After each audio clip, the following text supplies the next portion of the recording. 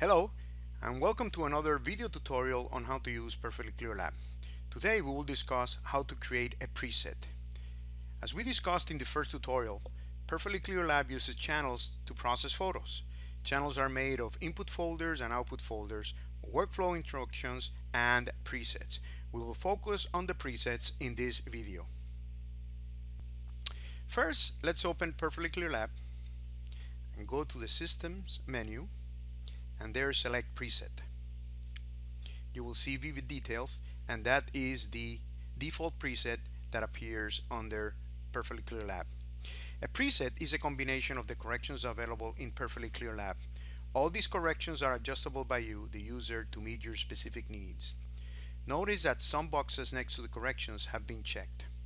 Those are the corrections that the Vivid Details preset will apply automatically.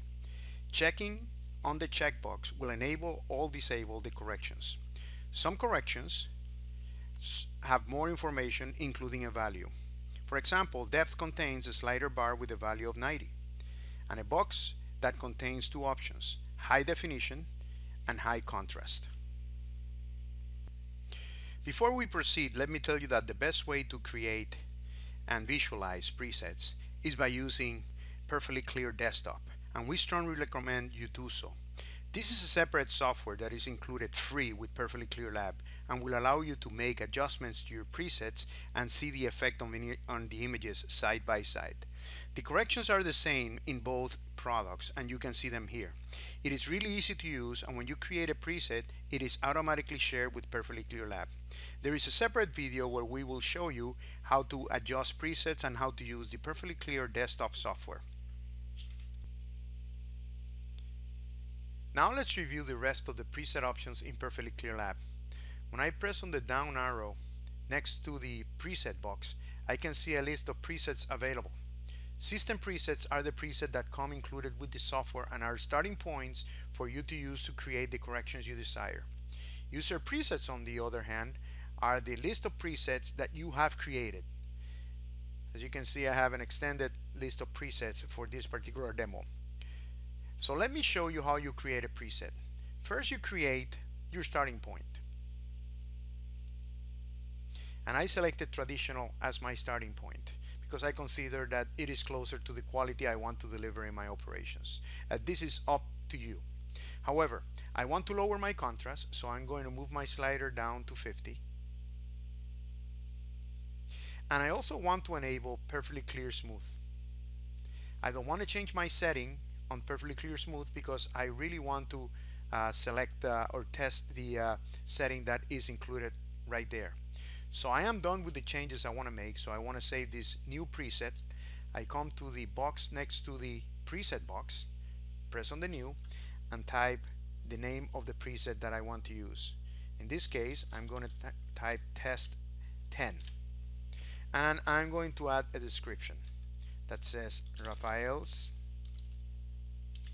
perfect preset. And now I save it. Now I have test 10 saved and it's part of the long list of presets that I have created. So now I can close that and anytime that I want to check on my preset I come to system preset and I use the particular preset that I desire. In this case I want to ask use test 10 and that's my preset which has contrast at 50 and my perfectly clear smooth at 35 however you cannot see the results from the preset until you run perfectly clear lab with images. That is the reason why we strongly recommend you use perfectly clear desktop to create and adjust your presets.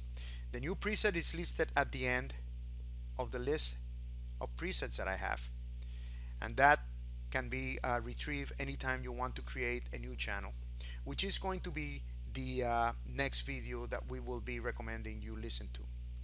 The preset created in lab are automatically updated in the desktop and vice versa. So you're always current on both the software products. Read more about this feature in the manual. Now you're ready to use the new preset on a current channel. So you can create a channel by using any preset you have created already in your Perfectly Clear lab.